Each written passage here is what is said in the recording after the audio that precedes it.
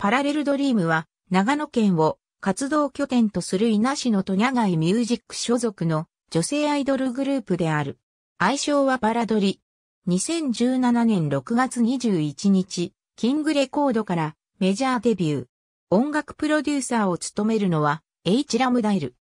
時空を超えてみんなに夢と希望と愛を届けるをコンセプトに世界へ発信型アイドルとしてインドネシア、タイ、フランス、ロサンゼルス、ベトナム、フィリピン、台湾などでライブ公演を行い、長野県地域貢献活動にも取り組んでいる。派生ユニットにネオ、ビクレイ、トゥインクルリリカルスターがある。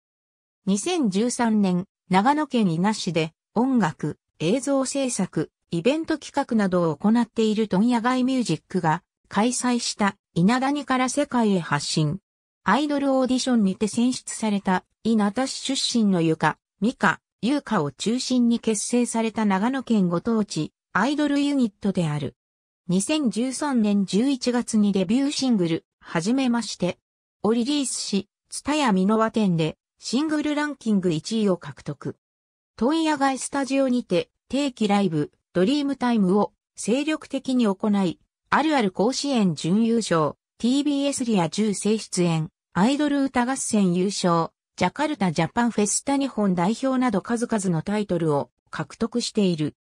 2014年より、プロ野球独立リーグベースボール、チャレンジリーグのシナノグランセローズの公式応援団を務める、ナイは、愛称インディーズメジャー2013年2014年、往復バスツアー、パラレルドリームと一緒に、池袋、新生堂へ移行。2015年、2016年、2017年。ありがとうございます。